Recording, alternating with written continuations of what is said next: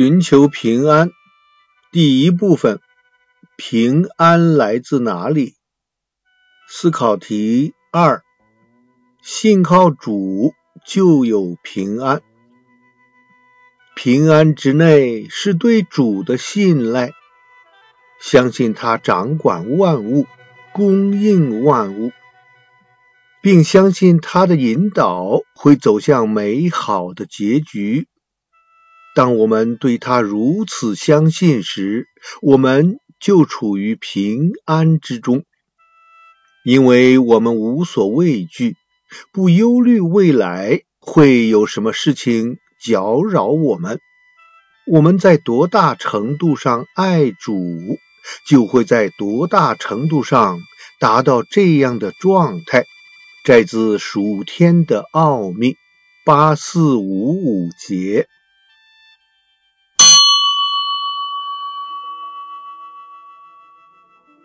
核心理念：平安不仅是一个连接的状态，也是信任的状态。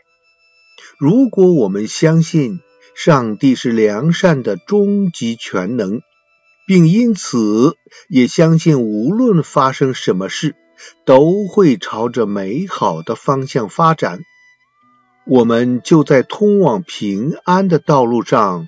迈出了重要的一步。